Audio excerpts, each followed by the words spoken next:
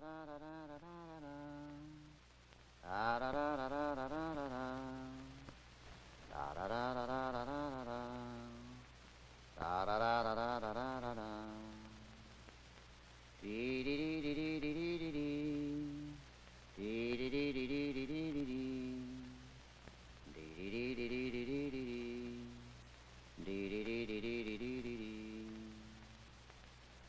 da da Ed Emshwiller began his career as an illustrator of science fiction books and magazines.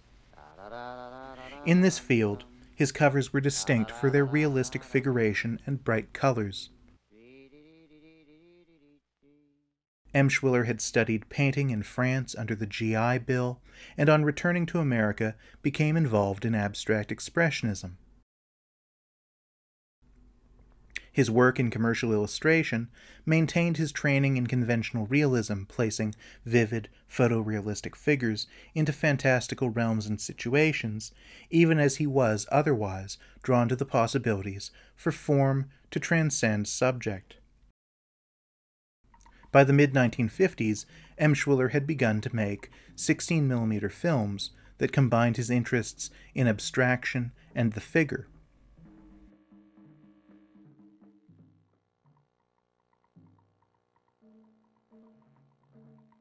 Emshwiller's filmmaking would cover a wide range of subjects, from pure abstraction to dance, as well as a wide range of formal approaches, from his dramatic use of wide angle lenses and pixelation to his later groundbreaking work in video synthesis and computer generated imagery. His earliest films, such as Dance Chromatic, Transformation, and Lifelines, integrated the figure with animated abstract painting. Beginning with Thanatopsis in 1962, M. Emshwiller's films would tune these interests increasingly towards the relationship of the body to space. This theme is made explicit in the twitching, sped up movements of the figure in Thanatopsis, and in films such as Carol, a portrait of the filmmaker's wife, in which she passes through a forest, slowly in a series of staggering, interlocking fades, her body becoming multiple and transparent, eventually merging with the textures and patterns found in nature.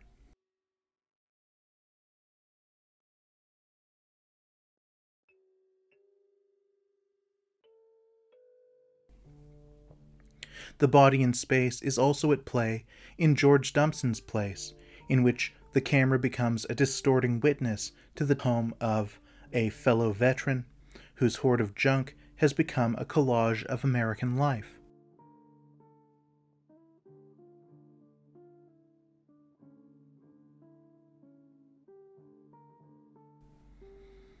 An example of Emshwiller's ability to develop claustrophobic, wide angle images that suggest in utero vision.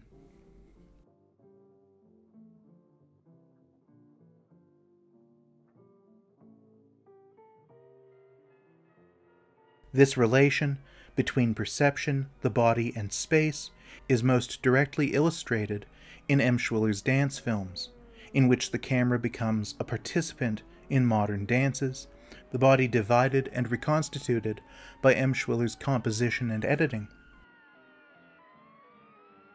It also has its roots in his parallel work in mass culture science fiction, where the body was often viewed as a sacred and exceptional container of humanity, in a time when emerging laws began to reimagine the time and space relations of humankind, the galaxies, and the atoms that compose it all.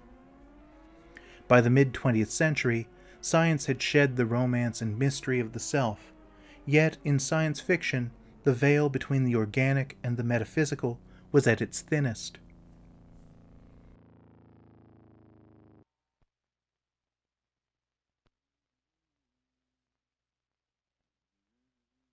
Emshwiller was not developing these sensibilities in isolation, but was responding to his century, one in which our knowledge of gravity, the force relation between objects, and thus the experience of time and space had grown by leaps and bounds by way of Albert Einstein's theory of relativity, which determined the universality of the laws of physics, and Einstein's resulting concept of space time, which determined that events that occur at the same time for one observer could occur at different times for another.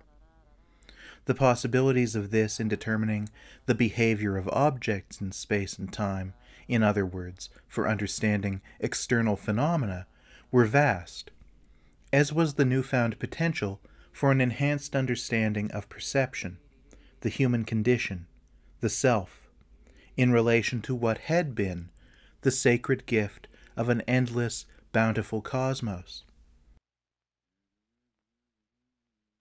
The self and its place in relation to all things could be better understood in relation to how speed, distance, and time are experienced at other scales. Yet in this model, the self was no longer a conductor to the cosmos. Emshwiller's understanding of consciousness had been impacted by these notions of the changing laws of physics, whether at its most internal, as in Thanatopsis or Carol, romantic evocations of anxiety and love, or at its most external, as in George Dumpson's Place, a study of a world so distinct from one's own that the eye is reshaped into that wide, new formed eye. The impact of Einstein's theory on Emshwiller would be made explicit in 1964 when the filmmaker received a grant from the Ford Foundation to make a film that would assume these laws as governing constraints, exploring through them what he would describe as a journey through the mind, through one's consciousness of his own place in the world. Emshwiller's relativity is not derived from Einstein's theory, but it is a reflection of the ceaseless possibilities of nature to produce distinctive forms acting in concert with one another. It is a myth enacted through the avatar of a universal man who samples this world from the cave to the beach to the parking lot to the supermarket, from birth to death, in navigation with other bodies, a figure of bounded perception whose actions are guided by impulse, invention, and perhaps the stars.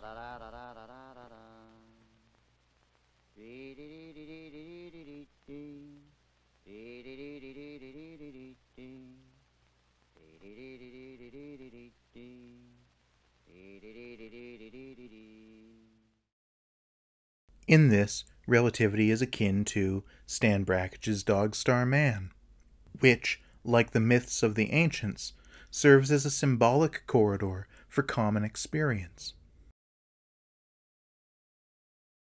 The hero of Dogstar Man, Brakhage himself, ascends a mountain and enacts a reckoning with mortality in microscopes and mushroom clouds and, so like Odysseus, the wife and kids.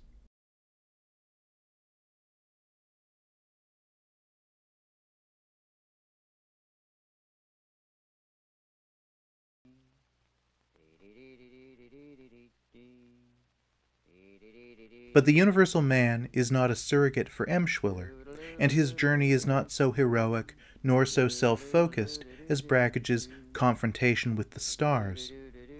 Rather, relativity comes to a recognition of the infinitesimal variations of nature, the unlikely miracle of consciousness, the wonder of being at all. It is an embrace of life in its broadest definition, a catalogue of earthly phenomena. For the Ford Foundation, Emshwiller wrote a proposal that tied together three things that he had first planned for other projects a recurring dream of his in which he was flying, the sexual relationships between men and women, and Isaac Asimov's writings on the limits of perception all of these elements are tied to different forms of dynamism. The dynamism of the object in flight, the dynamic machinations of ecstatic bodies, and the dynamic barriers of perception that keep the self grounded in its subjective experience.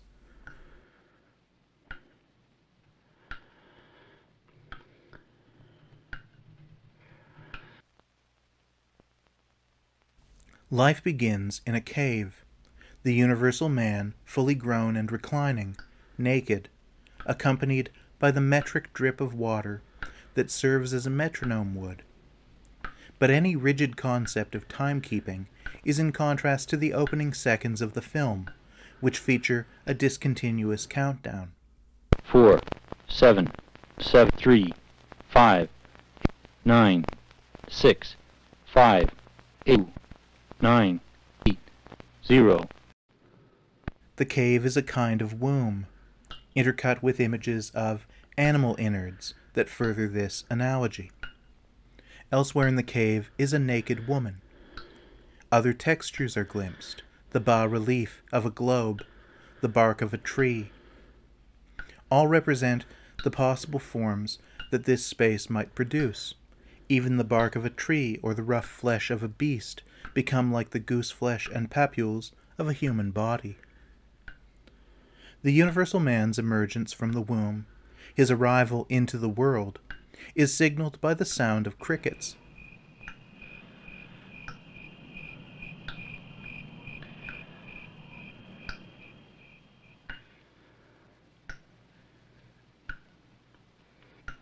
He comes as one of science fiction's newborn men.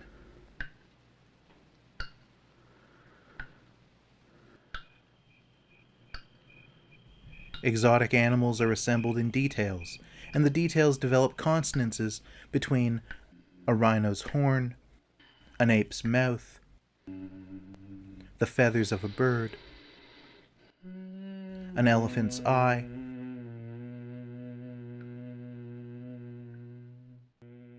a man's aged face, a little boy's face. These simple, hard cuts may on some level suggest a family of organisms produced by nature. However, while that could imply harmony, M. Emshwiller offers competition, the organized chaos of the kingdom of earth. Hence, a further shot of pigs suckling turns to graphic footage of a slaughterhouse, and from there to a human skull, an anatomical model, the bone machine.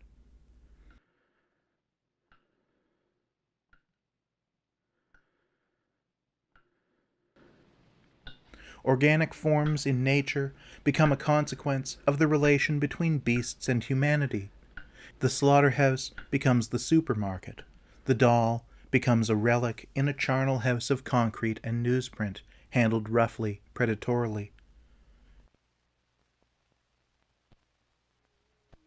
Here, the universal man becomes Pygmalion, shaping Galatea. The doll is first a symbol for the female nude, and then becomes the nude herself.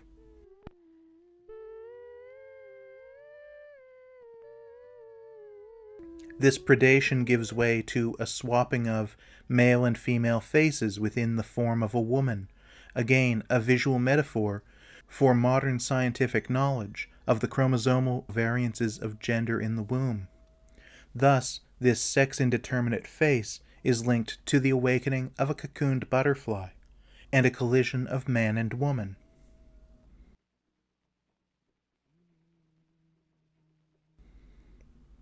The universal woman is born into the film through a slow motion burst of water.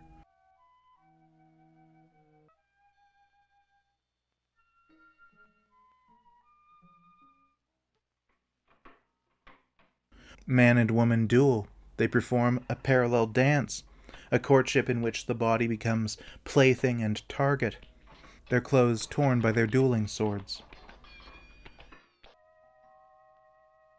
They lay together in a cave, and she vanishes, leaving only the universal man. She is absorbed into him as an eternal other. Here in the cave, he is both unborn and predestined. She is both his dueling partner and the alternate to his chromosomes.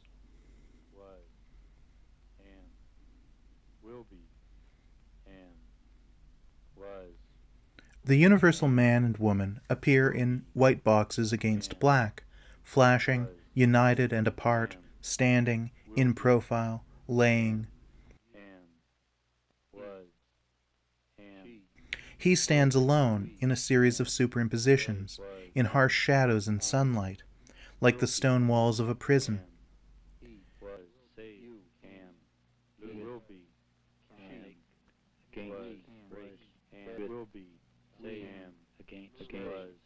He tours scenes of human activity, the city, the beach.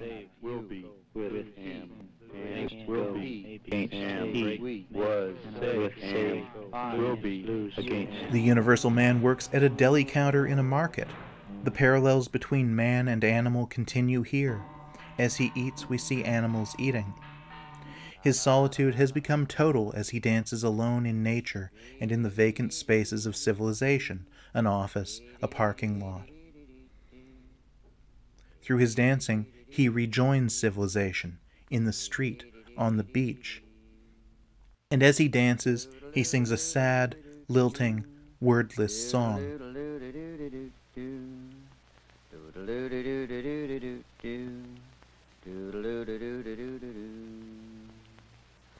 da da da da da da da da.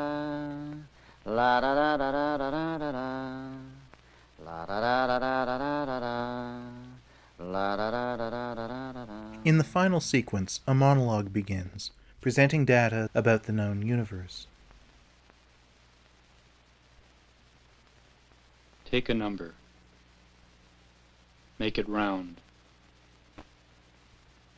It is estimated that there are 100 billion galaxies in the observable universe.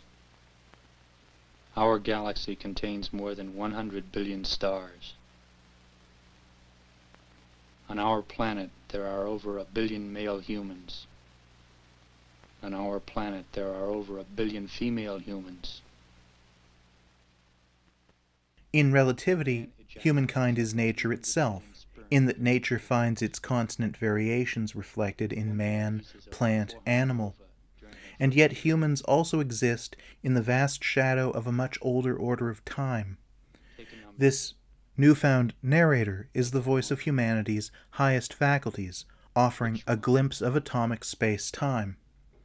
It gives a quantified history of Earthlings, of matter, and of the galaxy itself. The age of the universe is estimated variously to be from 6 to 15 billion years. The age of life on Earth is estimated between 2 and 3 billion years. The earliest man lived 1 million years ago. Early Like the universal man, it indicates something that is miraculous and totally ordinary origin and destiny, life and death, prosperity and doom.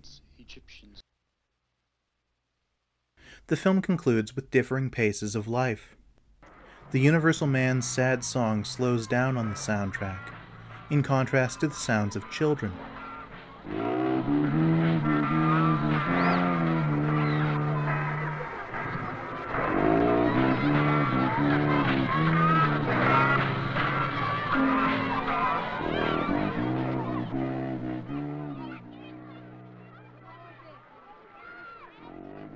Likewise, an old man's face becomes a window onto children at play. A paper airplane cast into the cosmos becomes a turtle on its back, an allusion to the world turtle myths of the Lenape and the Iroquois, in which a giant turtle becomes a cosmic vessel. The burden of the earth springs up from its shell. Fields of bones and a corpse give way to hands on grated bars, reinforcing that harsh light that was earlier cast on the universal man, prisoner of frail matter, of passing seasons, of gravity, of chance. The womb like cave becomes a white lined coffin, and the figure, dancing in the distance, yelps an ecstatic.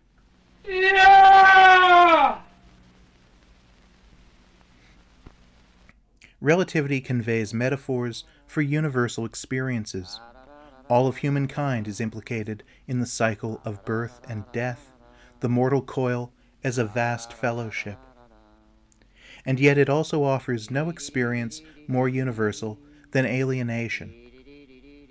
It is in alienation that the universal man encounters earthly phenomena, and while he moves at times within and at times apart from society, he is always experiencing society through steel bars, through one frame or another.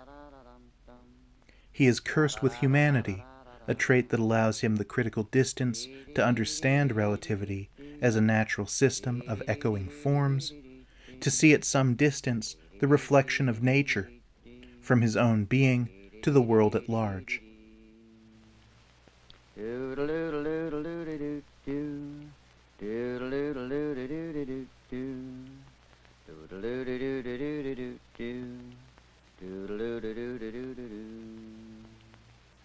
Pararararara.